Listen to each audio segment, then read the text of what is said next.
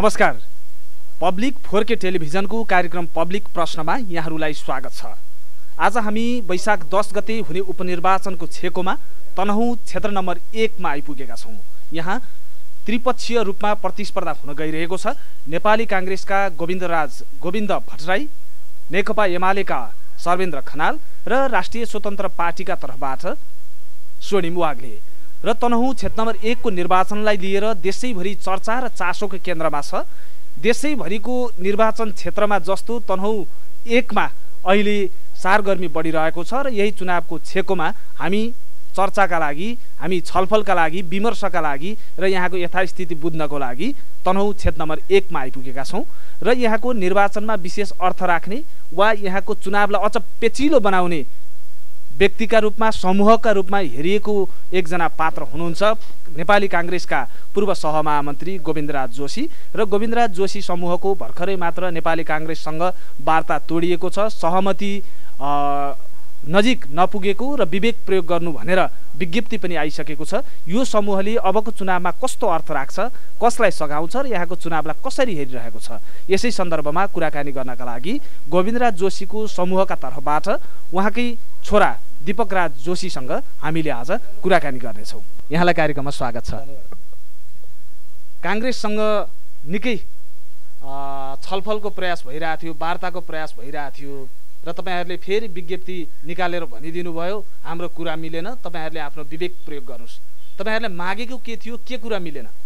होइन मागेको भन्दा पनि पहिला कुरो त हामीले मागेको केही पनि थिएन।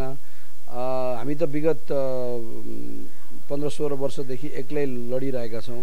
हामीलाई चाहिँ यो कुरा क्लियर भएन कि उहाँहरूले के चाहनु भयो कि क्लियर भएन। यो चुनावको मुखमा आएर उहाँहरूले हाम्रो जोशी समूहसँग मिल्न खोज्नु भएको कारणहरू नै उहाँले प्रष्ट गर्न सक्नु भएन उहाँहरूको एउटा भनाइ के थियो भन्दाखेरि जोशी समूहलाई चाहिँ के छ भने गोविन्दराज जोशी लगायत अरू थुप्रै मान्छेहरूलाई चाहिँ अब काङ्ग्रेसभित्र ल्याउनु पर्छ भन्ने उहाँहरूको प्रस्ताव थियो। त्यो प्रस्तावको जवाफमा हामीले के भन्यो भन्दाखेरि किन ल्याउनु पर्ने हो त नि यसपालि? योभन्दा अगाडि ल्याउन नपर्ने। यसपालि के चुनावकै चुनावकै नतिजालाई प्रभाव गर्नको लागि ल्याउने हो हो कि के हो भन्ने कुरा हामीले प्रश्न गऱ्यौँ। त्यही प्रश्नमा उहाँहरूले जवाफ चाहिँ दिन सक्नु भएन अब त्यसपछि पटक पटक मेरो गगन थापासँग पर्सनल्ली कुरा हुँदा पनि मैले हामीलाई एउटा के छ भन्दाखेरि भोलि ल ठिकै छ। गोविन्दराज जोशी र गोविन्द राज जोशी लगायत अरू सबै थुप्रै दुई हजार सत्तालिस सालभन्दा पछाडि काङ्ग्रेसबाट बाहिरिएकाहरूलाई काङ्ग्रेस सुदृढीकरण गर्न ल्याउने हो भने के कस्तो तरिकाले ल्याउने हो त उहाँहरूलाई कस्तो सम्मान दिने हो कस्तो भूमिका दिने हो कस्तो होइन पद दिने हो भोटै दिने हो भने त भोट दिइरहेछन् आफूले भन्ने कुराहरूलाई हामीलाई दुई चारवटा पाँचवटा मागहरू हामीले राखेका थियौँ। तर उहाँहरूको चाहिँ के छ भने मागहरूमा छलफलै गर्नु भएन उहाँ त्यहाँ प्रवेशै गर्नु भएन। उहाँले खालि हामीलाई के छ भन्दाखेरि आश्वासन खोक्रो आश्वासन दिने र व्यक्तिगत प्रलोभन होइन मेरो अब गोविन्दराज जोशीको उमेर पनि भइसक्यो। तपाईँ भर्खरै राजनीति गर्दै हुनुहुन्छ तपाईँको भविष्य उज्जवल छ तपाईँलाई यो दिउँला यो दिउँला भनेर उहाँले अलिकति के छ भन्दाखेरि एकदमै इमिडिएट चाहिँ बेनिफिटको लागि उहाँले त्यो कुरा राख्नुभयो र कुरा पनि फेरि एउटा व्यक्तिबाट होइन किनभने नेपाली काङ्ग्रेस जस्तो ठुलो पार्टीले त एउटा कुनै पनि कुरा गर्दाखेरि एउटा समूहले एउटा समिति बनाउँछ समितिले कुरा गर्छ कुरा मिलोस् नमिलोस् तर एउटा प्रक्रियागत यत्रो ठुलो अर्गनाइजेसनले एउटा प्रक्रिया त निभाउनुपर्छ नि त्यो प्रक्रिया पनि निभाउने काम भएन। तपाईँहरूले आफ्नो हैसियत भन्दा र आफूले जुन खालको अहिले तपाईँहरूले भन्नुभयो जिल्लामा तिस प्रतिशतसम्म नेताहरूको चाहिँ भूमिका चाहिने पद चाहिने र माथि चाहिँ अहिले रामचन्द्र पौडेल राष्ट्रपति भइसकेपछि बाँकी रहेको वरिष्ठ पद हामीलाई चाहिन्छ भन्ने खालको कुरा गर्नुभयो। घाँटी हेरेर पो हाड निल्नुपर्छ भन्ने काङ्ग्रेस नेताहरूको भनाइ सुनियो नि। अनि ठिकै छ। त उहाँले भनेको कुरो हामीले हामीले हाम्रो घाँटी ठुलै छ भनेर ठुलै भनेको उहाँहरूलाई त्यो लाग्दैन भने उहाँहरूले हामीसँग छलफल नगरे भयो। यसो यसको अर्थ यो होइन कि हामीले हाम्रो भ्यालु कति हो त्यो भ्यालु देखाउने हो। त्यो भ्यालु अनुसारको प्राइस उहाँले दिन सक्नुहुन्न भने नेगोसिएसन हुँदैन। भ्यालु कति हो तपाईँहरूको? भ्यालु कति हो? मैले आफै भने हिजो यो समूहले तनहुँ जिल्लामा अस्तिकै चुनावमा हेरौँ हाम्रो भोट टोटल भोट तपाईँले सोध्नुभयो भने दस एघार हजार भोट हो। अब दस एक दस एघार हजार भोटमध्ये दु तिन चार हजार भोट चाहिँ अब कसले जित्छ त्यतै दिएर दिउँ अब हार्ने भएपछि किन दिउँ भन्ने खाले भोट हुन्छ होइन? त्यो भएको हुनाले हामीलाई एमाले सपोर्ट गर्ने भन्दै थियो त्यसमा धेरै कारणहरूले भएन नभएपछि हामी चाहिँ एक्लै उठ्दाखेरि हाम्रो सात हजार भोट आएको। सात हजार भोट भनेको चाहे त्यो चाहिँ गोविन्दराज जोशीले जित्नु होला नजित्नु होला उहाँ उठेपछि आउने भोट हो। त्यो हिसाबले हेर्दाखेरि बिस हजार समानुपाति काङ्ग्रेसको भोट हुँदा सात हजार हाम्रो भनेको त तेत्तिस पर्सेन्ट भोट त हो नि। कि त्यो होइन भन्न सक्नु पऱ्यो होइन? एउटा बाटो त्यो भयो। अर्को बाटो कुनै बेला गोविन्दराज जोशी खुमबहादुर खड्का विजय गजदार र अर्जुन नरसिंह केसी चाहिँ के छ भने सङ्गठनको लागि उहाँहरूले धेरै गर्नुभयो भन्दै गर्दा कि त उहाँहरूले नकार्नु पऱ्यो गोविन्दराज जोशीको कुनै हैसियत छैन। उहाँले सङ्गठनलाई केही पनि गर्नु भएन भन्नु पऱ्यो त्यो पनि उहाँले भन्न नसक्ने। र कुनै बेला गिरिजाप्रसाद कोइराला सभापति हुँदा महामन्त्री सुशील कोइराला हुनुहुन्थ्यो गोविन्दराज जोशी सहमहामन्त्री हुनुहुन्थ्यो तेस्रो पोजिसन थियो। त्यसो भएर हामीले चाहिँ उहाँको हैसियत र उहाँको योगदान के छ त्यो अनुसारको सम्मान हुनु पऱ्यो भन्ने एउटा एउटा त्यो माग माग्यो अर्को कुरा के छ भने हामी मात्रै जाने कुरा होइन। हाम्रो बिपी विचार समाज छ। आज कति ठाउँमा छयालिस सालदेखि यता मान्छेहरू चाहिँ कङ्ग्रेस छोडेर गएका छन्। भोलि आज यो चुनावमा कसले जित्छ हार्छ भन्ने होइन कि? अहिले कङ्ग्रेसले यस्तो निर्णय गर्नुपर्छ कि जसले अर्को चुनावमा बेसी सिट बढी आओस् भन्ने हाम्रो उद्देश्य हो। नत्र व्यक्तिगत रूपमा त मलाई काङ्ग्रेसमा जानु पनि छैन। किनभने मलाई यही ठाउँमा यही भूमिमा हामीले हामीले चाहिँ तिन पुस्ताले काङ्ग्रेसको राजनीति गर्दै गर्दा हामीलाई पञ्चायती व्यवस्थाले पनि छुन नसकेको एमाले हामीलाई हातपात नगरेको माओवादीले पनि व्यक्तिगत रूपमा हातपात नगरेको हुँदाखेरि रामचन्द्र पौडेलकै गाउँमा रामचन्द्र पौडेलकै आफ्नै दाजुभाइ भतिजाहरूले हामीलाई मलाई दिनदहाडै मार्ने कोसिस गरियो। अब त्यो पार्टीमा मेरो इमोसनल अट्याचमेन्ट कति हुन्छ र त्यसो भएर मेरो व्यक्तिगत रूपमा त म जाने इच्छा पनि नराखेको मान्छे हो। तर त्यति भन्दै गर्दा गोविन्दराज जोशीको योगदान त्यो पार्टीमा ठुलो थियो। उहाँलाई कहीँ न कहीँ इमोसनली अट्याच आफूले बनाएको पार्टी आफूले दुःख गरेको पार्टीमा पार्टीले सम्मानपूर्वक ल्याउँछु भन्दाखेरि उहाँले म जान्न भन्न हुन्न भनेर मैले त्यो कम्प्रोमाइज गरेँ मात्रै हो। तर उहाँहरूलाई के छ भने हाम्रो घाँटी हेरेर हार्नेले कुरा होइन कि हाम्रो हैसियत छैन भने हामीलाई मिलाउनु किन पऱ्यो उहाँले जनताको हिसाबले हेर्दाखेरि पनि अघिल्लो चुनावमा तपाईँहरू उम्मेदवार हुनुहुन्थ्यो। अहिलेसम्म पनि तपाईँहरूको अर्को पार्टी नभएको कारणले र तपाईँहरूको लामो समय काङ्ग्रेसमा योगदान पनि रहेको संलग्नता पनि रहेको हुनाले तपाईँहरूलाई भोट हाल्ने मान्छे पनि काङ्ग्रेसी हुन् अथवा तपाईँहरूलाई मन पराएर पनि हाल्यो होलान्। चुनावमा जनताले हालेको मतलाई लिएर अहिले तपाईँहरूले काङ्ग्रेससँग बार्गेनिङ गर्ने साधन माध्यम बनाइदिनु मिल्छ त? त्यो त एउटा कुरा हेर्नु। गोविन्दराज जोशी राजनीतिमा नभएको सत्र वर्ष भयो। सत्र वर्ष एक्टिभ पोलिटिक्समा नभएको मान्छेहरू अहिले को कहाँ छ तपाईँ पत्रकारको नाताले तपाईँले प्रश्न तपाईँले बुझ्न सक्नुहुन्छ। न पदमा हुनुहुन्छ न पावरमा न पार्टीमा हुनुहुन्छ न सरकारमा हुनुहुन्छ। उहाँलाई जालजेल गरेर मुद्दा कसले लाग्यो के त्यो अब फरक डिस्कसनको पार्ट हो। त्यति हुँदा पनि आज यहाँ धेरै मान्छेहरू गोविन्दराज जोशीको पछाडि छन्। त्यसको अर्थ त के लाग्ला नि? त्यसो भएर भोटको कुरा होइन। हामीले सङ्गठन गरिरहेछौँ सङ्गठन गर्दै गर्दा त राम्रो गऱ्यो भने सङ्गठन बढ्दै जाने हो नि। आज आज जुन परिस्थितिमा हामी छौँ पाँच वर्ष अगाडि हामी थिएनौँ होला। भनेपछि यदि नेपाली कङ्ग्रेसले गोविन्दराज जोशीलाई नमनाइकन चुनाव जित्न सक्नुहुन्छ भने उहाँहरूले जित्न सक्नुहुन्छ। उहाँले चालिस हजार भोट ल्याएर जित्नुहोस् न हाम्रो उहाँलाई शुभकामना छ। तब उहाँहरूले चाहिँ जित्नलाई चाहिँ हामीलाई प्रयोग गर्ने।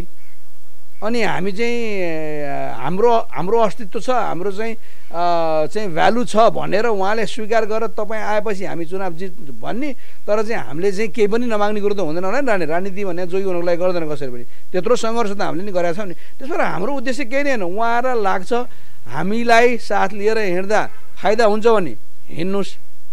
नभए नहिँड्नुहोस् भेरी एकदम सिम्पल कुरा छ यो। जस्तो अब तपाईँले भनेको कुरामा हेर्दाखेरि अहिले काङ्ग्रेससँग वार्ता मिलेन र तपाईँहरूले विवेक प्रयोग गर्नुहोस् भनेर तपाईँहरूले विज्ञप्ति मार्फत भन्नुभयो। तर अहिले यहाँ जिल्लामा हेर्दाखेरि तपाईँहरूले मतदातालाई त विवेक प्रयोग गर्न भन्नुभयो र तपाईँहरू आफैले चाहिँ त्यो विवेक कसैलाई जिताउनको लागि लाग लगाइरहनु भएको छ? सामूहिक विवेक र व्यक्तिगत विवेकमा फरक हुन्छ। तपाईँले म तपाईँ पत्रकार मात्रै होइन नि तपाईँ यो देशको नागरिक पनि हो। तपाईँले नागरिकको हैसियतले कसलाई भोट दिनुहुन्छ भनेर सोद्धाखेरि अवश्य पनि राम्रो मान्छेलाई दिनुहुन्छ होला। होइन? पत्रकारको हैसियतले तपाईँले बायस भएर म पत्रकार भएको हुनाले मैले भन्न मिल्दैन भन्नुहुन्छ। त्यसो भएर हामीले हामीले यो समाजमा आफ्नो रोल निभाउने हो होइन? म म यो समूहको भए पनि मेरो व्यक्तिगत पनि त इन्ट्रेस्ट होला होइन? तर त्यो भएको हुनाले कसैले हामीले व्यक्तिगत निर्णय गर्ने हामीले उहाँहरूलाई त्यो त्यो एउटा प्लेटफर्म दिएका छौँ। उहाँले गर्नुहुन्छ होइन? कसैले व्यक्तिगत निर्णय गर्न नसक्ने हुनुहुन्छ भने उहाँलाई सहयोग चाहिन्छ भने सहयोग गर्न। भने हामी तयार छौँ आखिरीमा एउटा ग्रुप डाइनामिक्स भनेको ग्रुपमा त एक्लै अर्कालाई सहयोग गर्ने हो नि। सहयोग गर्ने भनेको त्यो चाहिँ तपाईँलाई आर्थिक सहयोग सामाजिक सहयोग मात्रै नभएर डिसिजन मेकिङ प्रोसेसमा पनि त उहाँहरूलाई के कारणले हामीलाई कल्ला दिने भन्दाखेरि व्यक्तिगत रूपमा सहयोग गर्न नमिल्ने होइन। तपाईँलाई सोध्न सक्छन्। तपाईँलाई पत्रकार नभएर एउटा तपाईँ पनि यही तनुकै मान्छे हो होइन? तनुको एउटा चाहिँ तपाईँ जल्दो बल्दो पत्रकार भएको नाताले तपाईँ पत्रकारितालाई अहिले। थाँती राख्नुहोस्। यिन एज अ तनुवासी भएर तपाईँलाई एउटा मलाई ओपिनियन दिनु भन्दाखेरि त तपाईँले त्यो ओपिनियन दिनुपर्छ नि। हामी पनि हामी पनि त्यही पोजिसनमा तपाईँहरूले मतदातालाई विवेक प्रयोग गर्नुहोस् भनेको चाहिँ अहिले कुनै उम्मेदवारलाई जिताउन लगाइरहेको विवेक चाहिँ कसलाई हो होइन त्यो अब मैले मलाई त अब तपाईँले होइन त्यसरी अब मैले भन्न मिल्दैन किन मैले भन्दाखेरि त्यो अब राम्रो पनि हुँदैन किनभने म त्यो ग्रुपको एउटा सहजकर्ता पनि भएको हुनाले। त्यसो भएर उहाँहरूले हामीले प्रष्ट रूपमा भनेका छौँ तपाईँले यसपालि एक्काइसौँ शताब्दीको राजनीति बुझेको बौद्धिक युवा जसले राष्ट्रिय राजनीतिमा असर पार्न सक्छ त्यस्तो मान्छेलाई जिताएर पठाउनु भनेको हामीले चाहेको नि त्यही होइन र। अब उहाँलाई त्यो भनेका ती चाहिँ मैले भनेका बुदाहरू जहाँ फिट हुन्छ उहाँले त्यहाँ भोट दिनुहुन्छ। भनेको तपाईँहरूले त यहाँ कुनै एउटा उम्मेदवार जो तपाईँहरूकै पृष्ठभूमिसँग जोडिएका उम्मेदवारलाई जिताउनको लागि खुलेआमै लाग्नु भएको छ भन्ने छ।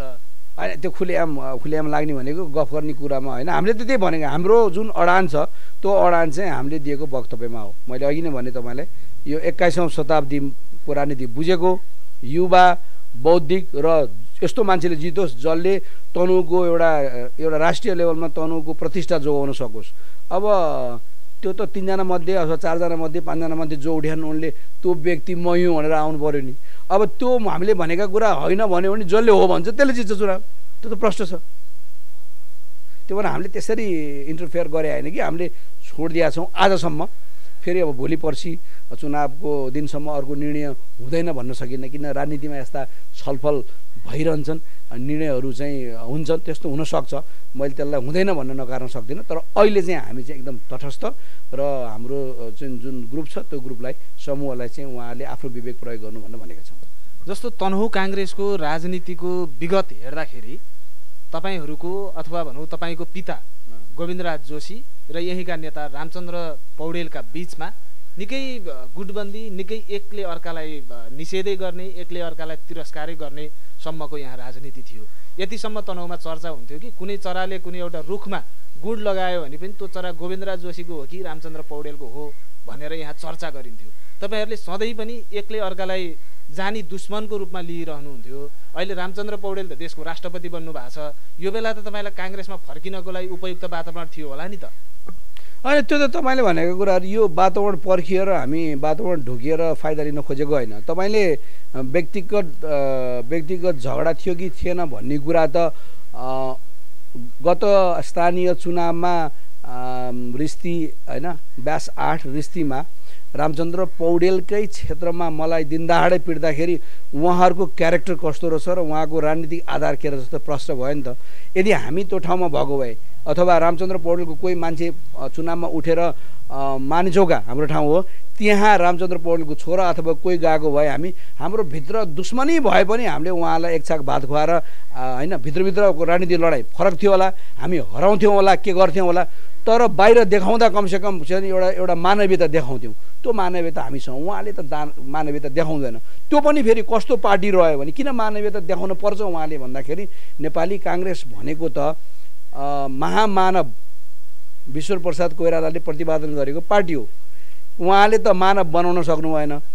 तर उहाँ उहाँले बनाए बनाउन नसकेका ती मानवहरू त के भने दानवीय प्रवृत्ति देखायो नि त। त्यो त प्रश्न छ मैले भने होइन नि त। त्यसो भएर त्यो भएको हुनाले उहाँहरूले उहाँ राष्ट्रपतिमा जानुभयो अब पालो आयो भनेर ढुकेर बसे होइन कि?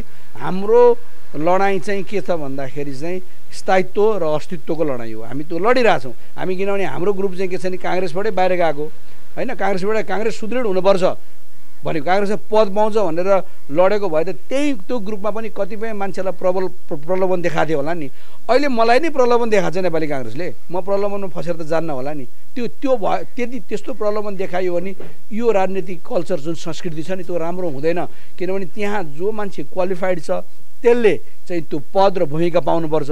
होइन? कमसेकम तपाईँले पार्टीमा दौडिने ठाउँ त दिनु पऱ्यो नि त। दौडिएर ऊ जित्यो भने पुरस्कार पाउँछ। फर्स्ट भयो भने फर्स्ट हुन्छ सेकेन्ड भयो भने सेकेन्ड हुन्छ थर्ड भयो भने थर्ड हुन्छ। तर अब फलानो ग्रुपको अथवा फलानुको छोरो भन्दैमा त्यहाँ दौडिने नै नदिने अरू दौडेको हेर भन्न त त्यसरी त बस्न सकिँदैन नि। त्यसो हाम्रो स्ट्यान्ड त्यो हो। जस्तो बिपी कोइराला नेपाली काङ्ग्रेसको सभापति हुँदा शिरभद्र शर्मा महामन्त्री भएको जिल्ला हो तनहुँ। र यहीँ गोवर्धन शर्माहरू पनि थिए। त्यस पछाडि गोविन्दराज जोशी नेपाली काङ्ग्रेसको सहमा महामन्त्रीसम्म भइसक्नु भएको व्यक्ति। गोविन्दराज जोशी सहमहामन्त्री हुँदा रामचन्द्र पौडेल त केन्द्रीय सदस्य हुनुहुन्थ्यो।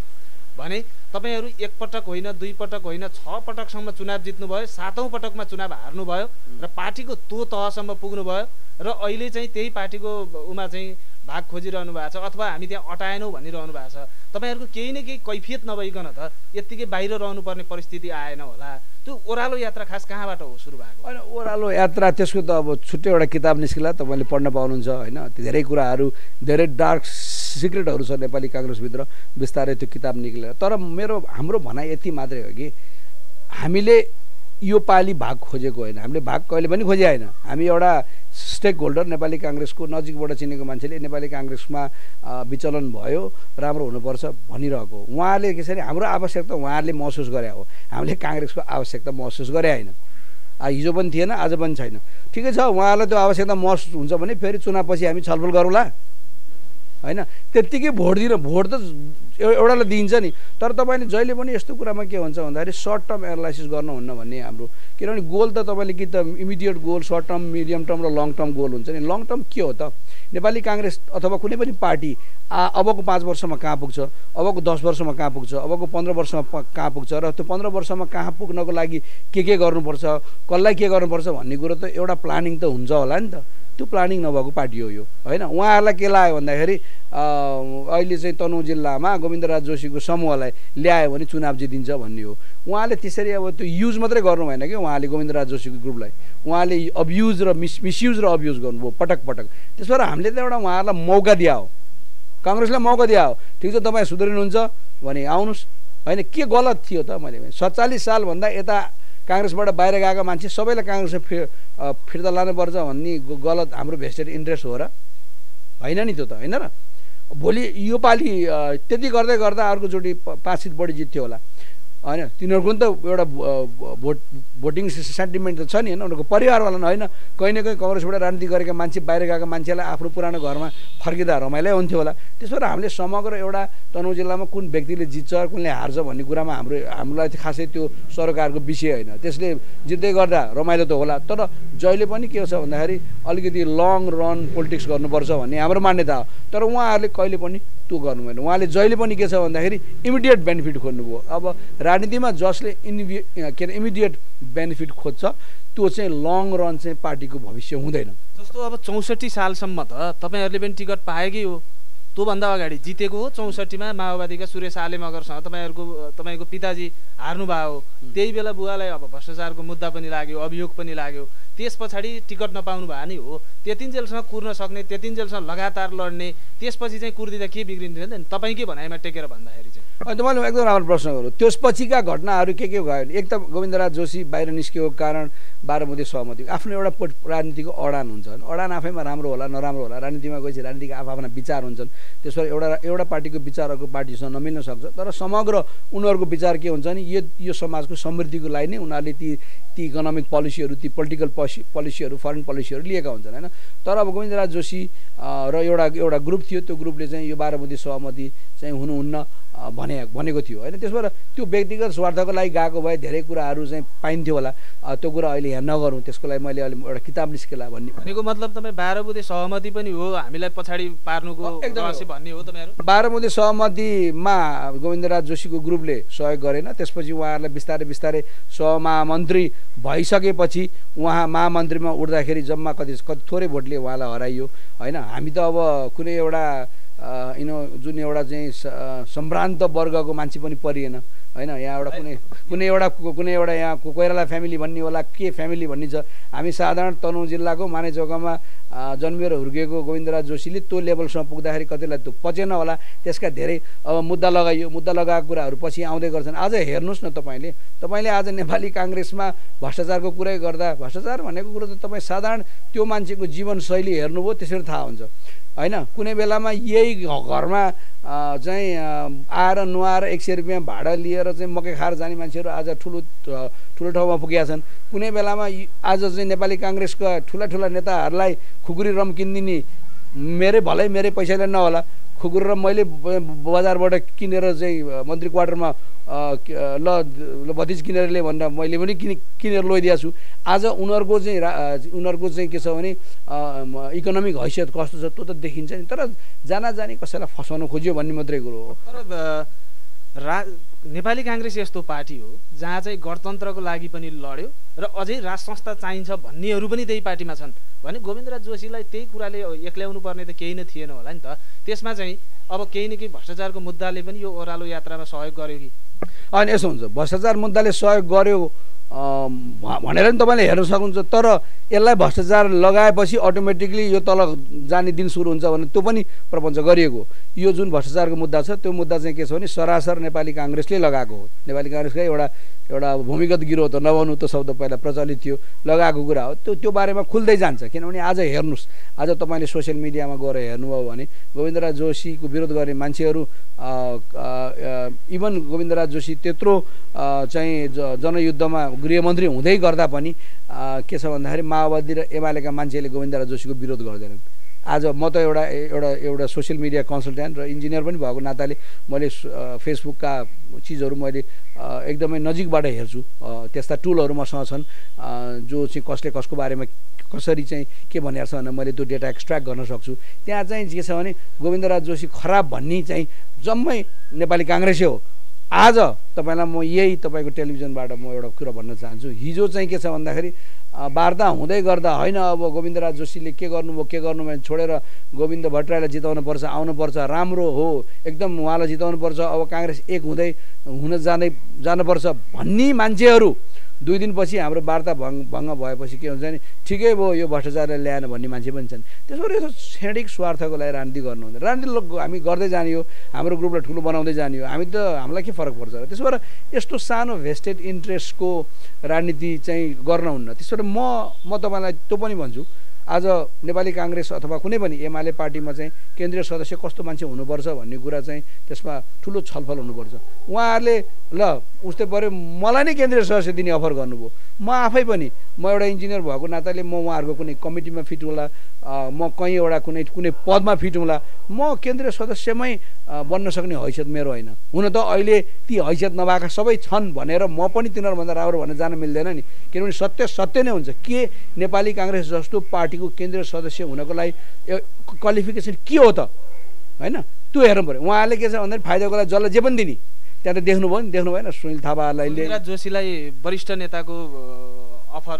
तपाईँहरूले वरिष्ठ नेता चाहिन्छ होइन। हामीले वरिष्ठ होइन कि? पहिला उहाँ थर्ड म्यान भइसकेपछि उहाँहरूलाई कसरी लानुहुन्छ उहाँहरूले भने। उहाँले भन्नुहुन्थ्यो नि त उहाँलाई के दिने भनेर। अब उहाँ चाहिँ एउटा के छ भने फेरि अब यत्रो वर्ष उहाँ मन्त्री हुनुभयो अ, सहमहामन्त्री हुनुभयो। फेरि सदस्य भएर चुनाव जिताउनको लागि चाहिँ उहाँ जानुहुन्न। त्यसको कारण के भन्दाखेरि सदस्यको रोल होइन कि उहाँलाई पनि के छ भने एकचोटि सङ्गठनमा तपाईँले जहाँ पनि सोध्न सक्नुहुन्छ गोविन्दराज जोशीको सङ्गठन क्षमता राम्रो छ भन्दै गर्दा उहाँले त्यो एउटा सङ्गठन गर्ने ठाउँमा पुगेपछि फेरि एकचोटि कङ्ग्रेसलाई रिभाइभ गर्छु भन्ने उहाँको इन्ट्रेस्ट हो। अब त्यो रिभाइभ गर्ने ठाउँमा नदिने होइन? तपाईँले तपाईँ म एकदम राम्रो गीत गाउँछु होइन? मलाई गीत लेखिदिने पनि मान्छे भएन म्युजिक कम्पोज गर्ने पनि मान्छे भएन भनेपछि त मैले त्यो पात बजाएर गीत गाउन सकिँदैन नि त सधैँ होइन? त्यो एउटा यो- एउटा एउटा ग्रुप एफोर्ट हो कि? ग्रुप एफोर्ट उहाँले खोज्या के भन्दाखेरि पद खोज्या होइन? दाखिले फेरि उहाँ अर्कोचोटि लड्नु चाहिँ लड्नु त्यो पनि थाहा छैन यो चार वर्षमा सबैलाई समाट समेटेर के छ भन्दाखेरि कङ्ग्रेसलाई एउटा अर्को दिशा फेरि रिभाइभ गर्न सकिन्छ कि भन्ने उद्देश्य हो। त्यो रिभाइभ गर्नलाई एउटा प्लेटफर्म त चाहिन्छ होला नि होइन र? तपाईँ आफै अब अमेरिकामा इन्जिनियरिङ गरिरहनु भएको थियो होइन? फर्केर अब म आफै पिताको विरासत म धान्छु भनेर फर्किनु भयो फर्केपछि अब स्थानीय तहको चुनाव गत चुनावमा एमालेसँग मिलेर लड्नुभयो। त्यसपछि तपाईँकै बुवा गोविन्दराज जोशी चुनावमा लड्नुभयो अहिलेको चुनावमा पराजय भोग्नुभयो। अब तपाईँहरूले बुवाको विरासत धान्छु भनिरहनु भएको छ तर तपाईँ समूहको राजनीति गरिरहनु भएको छ यसरी तपाईँहरूको न पार्टी बन्ने यो समूह पनि खिँदै जाने हुँदा तपाईँको हैसियत तपाईँको चाहिँ अस्तित्व रहन्छ त यसरी? होइन यो त्यस्तो तपाईँको तपाईँको ग्रुप डाइनामिक्सको कुरा गर्नु भने व्यक्तिबाट समूह बन्ने हो समूहबाट समुदाय भन्दै ठुलो बन्ने हो हामी हिजो कहाँ थियौँ आज कहाँ छौँ र भोलि कहाँ हुन्छौँ भने एउटा लेआउट गरिएको छ। त्यो कुरो चाहिँ किनभने समूहमै अहिले यत्रो समूह छ नि यो तपाईँले यो समूह त सानो सानो ठान्नै भएन नि। यो समूहलाई नेपाली काङ्ग्रेसको गगन थापा र शेरबहादुर देउपाले वार्ता गर्न बोलायो भने समूह त ठुलै होला नि। त्यतिको दुई चारजना भयो त उहाँले वास्ता गर्नुहुन्थेन होला। नि त्यसबाट यो समूहलाई सानो ठान्न मिल्दैन। अब रह्यो राजनीति गर्ने। मेरो इन्ट्रेस्ट यस्तो खाले राजनीति गर्ने मेरो इन्ट्रेस्ट छैन। किनभने मेरो त्यस्तो जीवनशैली पनि छैन। म एकदम सात्विक विचारधारा भएको मान्छे सात्विक जीवनशैली बिताउने मान्छे अनि मेरो सात्विक सोच भएको मान्छे हो। त्यसबाट मैले कहीँ न कहीँ मैले सोचेँ म तनुमै जन्मिएको तनु मेरो लागि एकदमै प्यारो लाग्छ।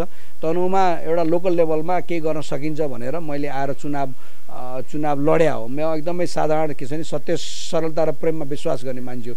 जुन किसिमको जुन राजनीति छ जुन किसिमको आदर्श बोकेर आजका यहाँ राजनीति गर्ने मान्छे हिँडेका छन् त्यो किसिममा म फिट हुने मान्छे होइन। त्यो भन्दै गर्दा अपर्च्युनिटी भनेको त्यहाँ हुन्छ जहाँ गलत क्रियाकलापहरू हुन्छन्। यहाँ जहाँ जुन पोलिटिकल पार्टीहरू रङ डिरेक्सनमा हिँडेका छन् भने के हुन्छ भने त्यसलाई राइट डिरेक्सनमा लानु पऱ्यो तपाईँले तपाईँले गोरु जोत्दै गर्दा गोरुले एकदम मिलाएरै जोत्यो भने त लट्ठी हान्नु पर्दैन होला नि त होइन? जब गोरु यताउता जान्छ लट्ठी हान्ने हो होइन?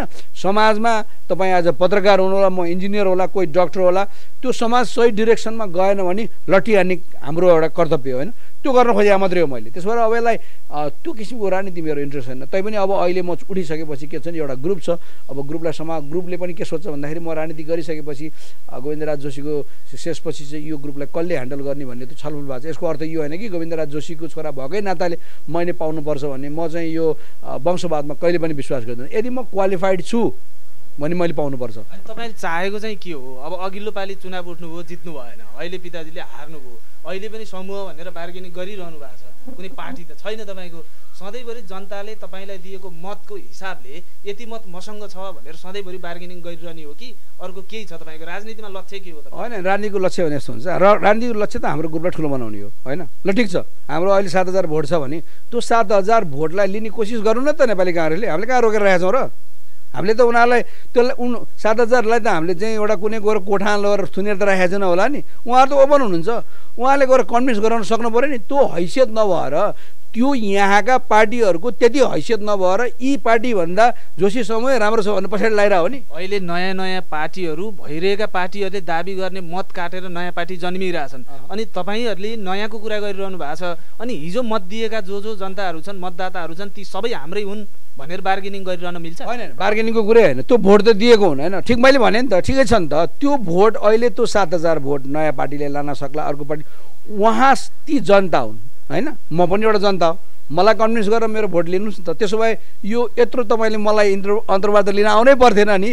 यो ग्रुप चाहिँ एउटा क्यापेबल ग्रुप हो। यो ग्रुपमा केही छ भनेर तपाईँ जस्तो पत्रकार तपाईँ टिभीले मलाई त अन्तर्वाद लिन आएन र म जस्तै तनुमा कचर कति नि किन तपाईँले अरूको अन्तर्वाद लिनु न किनभने हामीसँग त्यो एउटा फोर्स छ। त्यो फोर्सलाई मैले पनि रिप्रेजेन्ट गर्छु होइन? विरासत छ पार्टीको एउटा तहसम्म पुगेर छोड्नु भएको छ। लामो समय त्यही पार्टीमा हुँदाखेरि त हुने कुरो स्वाभाविक पनि होला फेरि। होइन त्यो मैले बुझेँ। तर मैले भन्न खोजेको उहाँहरू त कङ्ग्रेसमै लडेको मान्छे हो कि? त्यो सात हजार मान्छे सबै मान्छे कङ्ग्रेस हुन्। अहिले पनि उहाँहरूको कहीँ न कहीँ कङ्ग्रेसभित्रै गएर लड्नुपर्छ। कङ्ग्रेस सुध्रियो। इमोसनल अट्याचमेन्ट छ नि उहाँसँग। त्यो अट्याचमेन्टले अट्याचमेन्टलाई उहाँले झन् अट्याच गर्नुको सट्टा डिट्याच गर्न खोज्नुहुन्छ भने त उहाँको कमजोरी हो। उहाँले यसो हुन्छ नि उहाँले त उहाँले हाम्रो ग्रुपलाई कमजोर बनाउनु त त्यस्ता आइडियाहरू त्यस्ता प्लानहरू ल्याउनु सक्नु पऱ्यो नि त। होइन र? उहाँले ल्याउन नसकेर त त्यो ग्रुप इन्ट्याक्ट भयो। नभए त हिजो हाम्रो जम्मा पाँच सय भोट आउँथ्यो भने यहाँ दुई सय तिन सय भोट आउने मान्छे नि त छन् नि। छैनन् र किन भोट हाल्यो भने हामीले न पैसा खर्च गऱ्यौँ न हामीसँग पैसा छ। खर्च गर्न हुन्न भन्ने हो न हामीले जाँड रक्सी खुवायौँ। त्यति हुँदा पनि चुनाव त्रिपक्षीय चुनाव हुँदाखेरि हामी चाहिँ के छ भन्दाखेरि हाम्रो जित हुँदैन भन्ने त थाहा थियो हामीलाई। होइन हामीलाई त एमालेसँग हाम्रो एउटा एक लेभलको छलफल भएको थियो। उहाँले छोड्ने भन्नुभएको थियो। कतिपय पोलिटिकल कारणले मिलेन तपाईँले हेर्नुभयो भने एमालेको भोट र हाम्रो भोट चाहिँ जोड्दाखेरि के छ त काङ्ग्रेसको भोटभन्दा त बढी नै छ। सायद जितिन्थ्यो त्यसको एउटा पोलिटिकल डिस्कोर्स फरक हुन्थ्यो होला।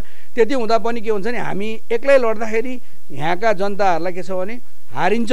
भन्दा पनि आफ्नो एउटा अस्तित्व राख्नको लागि के छ त त उहाँहरू लडी नै रहनुभयो आफ्नो एउटा अस्तित्व भनेको आफ्नो त्यो ठुलो कुरो हो। म बाहुनको छोरो भयो मैले जनै त म अमेरिकाको भएन जनै त छोडिदिनु होला नि। छोड्नु मिल्दैन नि त।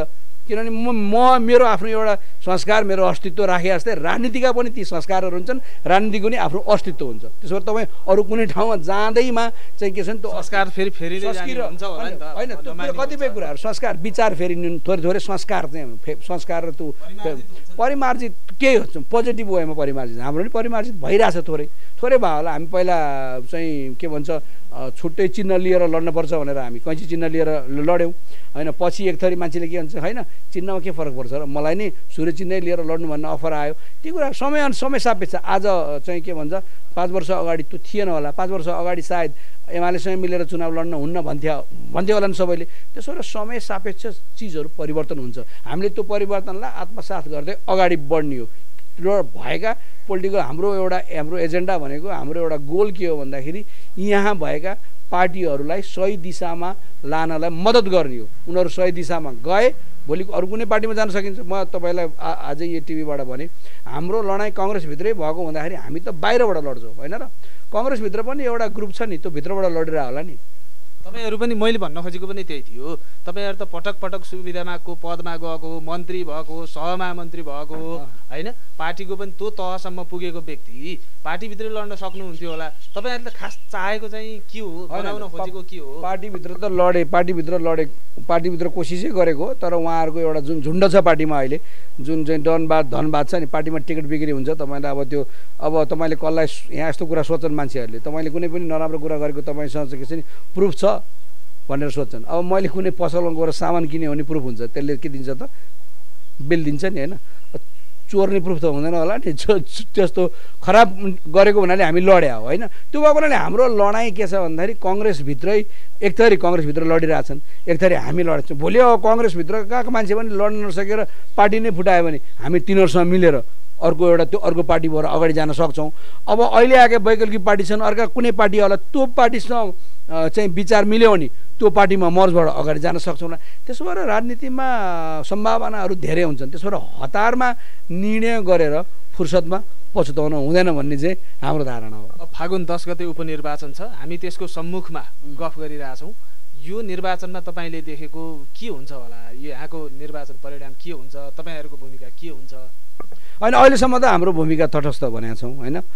तटस्थ भन्दै गर्दा व्यक्तिगत रूपमा मैले हेर्दाखेरि व्यक्तिगत रूपमा हेर्दाखेरि चाहिँ तनहुमा अहिले चाहिँ नर्मल्ली तनहुमा दुई पक्षीय भिडन्त हुन्थ्यो जहिले पनि होइन? तपाईँलाई थाहै छ। किन योपालि अगाडि मैले समानुपातिको भोटको आधारले हेर्दाखेरि कङ्ग्रेसको बिस हजार जति छ एमालेको अठार हजार भोट हो। त्यसमा पाँच छ हजार भोट माओवादीको थियो होइन? अनि हाम्रो सात सात हजार भोट आयो। त्यसपछि स्वतन्त्र पार्टीको छ हजार आयो। त्यो भएर अब अहिले चाहिँ भिडन्तर चाहिँ त्रिपक्षीय हुन्छ। मलाई लाग्छ केही थोरै भोट हजार पन्ध्र सय भोटको हारजित हुन्छ जस्तो मैले आकलन देखाएको छु। तर अब त्यो चाहिँ के छ भन्दाखेरि चुनावसम्म चाहिँ धेरै चिजहरू हुन्छन् जस्तै भोलि नै स्वतन्त्र पार्टीको यहाँ आमसभा छ अर्को कसै कङ्ग्रेस पार्टीको आमसभा होला त्यो आमसभाले कस्तो सन्देश दिन्छ फेरि यहाँ कति कुरा काण्डहरू निस्किया हुन्छन्। यो तनुको चुनाव चाहिँ यो पालि चाहिँ एकदमै इन्ट्रेस्टिङ चाहिँ हुन्छ। रोचक चाहिँ हुन्छ।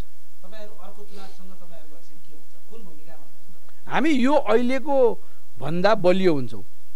अब हामीले अहिले तपाईँले भन्नुभयो नि अहिले बार्गेनको कुरा गर्दै हुनु नि ठिक छ पार्टी सुदृढ गर्न गर्दाखेरि हामीले भनिरहेछौँ यो चुनावपछि फेरि कङ्ग्रेसले वार्ता गर्न चाहन्छ अनि हामी खुला छौँ।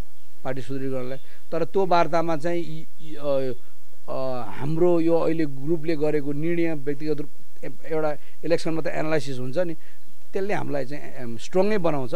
त्यो भएर जति तपाईँ बलियो हुँदै जानुहुन्छ होइन जुन चिज राम्रो छ जुन चिज बलियो छ त्यसको लागि त प्राइस बढी तिर्नुपर्छ। हस् धेरै धेरै धन्यवाद छ। धेरै धेरै धन्यवाद छ यो समय र यो संवादका लागि। पब्लिक टिभीलाई र तपाईँलाई मेरा चाहिँ विचारहरू राख्ने तपाईँले यो प्लेटफर्म दिनुभएको हुनाले त्यसलाई म धन्यवाद दिन चाहन्छु।